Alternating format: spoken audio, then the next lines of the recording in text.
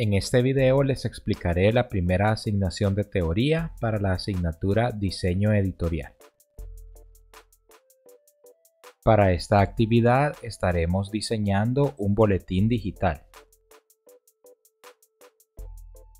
El boletín puede definirse como una publicación para tratar asuntos científicos, artísticos, históricos o literarios. Generalmente está editada por alguna corporación.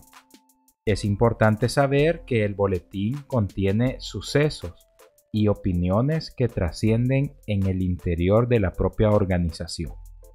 Y su objetivo es poder comunicar y recopilar a través de esta publicación toda la información trascendental.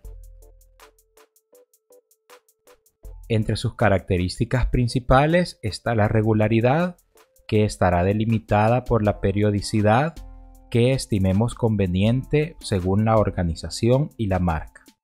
Otra de las características importantes es la variedad, por lo cual no es obligatorio centrarse en un único tema, sino que puede tener diferentes temas, categorías y áreas de información. Y finalmente, la otra característica importante es la identidad, por lo cual es importante que desarrollemos una buena gestión de marca aplicando el logotipo, colores, línea gráfica, tipografía y todos los recursos relacionados a la identidad de la marca. En muchos ejemplos podemos encontrar boletines que nos muestran la estructura de la información y vemos que pueden recurrir al uso tipográfico o al uso de recursos visuales que permite explicar de una manera mucho más clara y directa lo que necesitamos. Si el boletín es informativo, generalmente predomina la cantidad de texto. Sin embargo, el formato adecuado y la composición de este texto serán relevantes para poder crear un diseño de página atractivo y fácil de entender. Además del uso de textos y el uso de gráficos, también suelen incluirse imágenes, que son relevantes para la información que se está transmitiendo. Algunos boletines dan un gran porcentaje de la página a las imágenes y otros incluso dejan que la fotografía o imagen tome el tamaño completo de página o doble página. Todo dependerá del tipo de marca que está publicando el boletín y de la cantidad de información y páginas que tengamos para poder publicar. A nivel de detalles de la asignación debemos saber que esta es una actividad grupal y se realizará en los grupos de trabajo ya creados en la asignatura. También hay cuatro puntos importantes. El primero es la temática, el segundo es el documento, el tercero son las especificaciones y el cuarto la entrega. Como primer punto, la temática nos dice que se trata de un boletín digital municipal de alcaldía. Para poder desarrollar la actividad, se asignará de manera aleatoria una alcaldía a cada grupo de trabajo de la clase. Algunas de las alcaldías seleccionadas son la Alcaldía Municipal de San Salvador, la de San Miguel, la de Santa Ana, entre otras.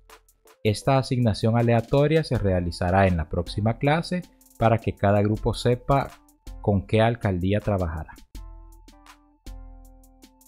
El segundo punto es el documento y este se entregará en un formato PDF. El documento debe de registrar todo el proceso de diseño, conceptualización y planteamiento de este boletín digital municipal. También deberá contener todos los recursos gráficos a utilizar, y como se mencionaba en las características, es importante tener claro el logotipo, la paleta cromática, tipografía y todos los recursos visuales de la marca. El punto 3, las especificaciones. Trabajaremos en formato carta, un total de 40 páginas o 10 cuartillas. Y en estas 40 páginas se deben de incluir la portada, la contraportada y el contenido o índice. También debe de incluir su historia, datos del municipio, mapa, misión, visión, valores y consejo municipal. Como información adicional también debe de agregarse sus lugares turísticos, noticias, fiestas patronales y eventos, servicios, horarios y números de contacto, gastronomía y galería de imagen. Adicionalmente, podemos incluir cualquier otro tipo de información que sea relevante en el proceso de investigación. Y la entrega se realizará en la semana 7, del 13 al 18 de septiembre de 2021.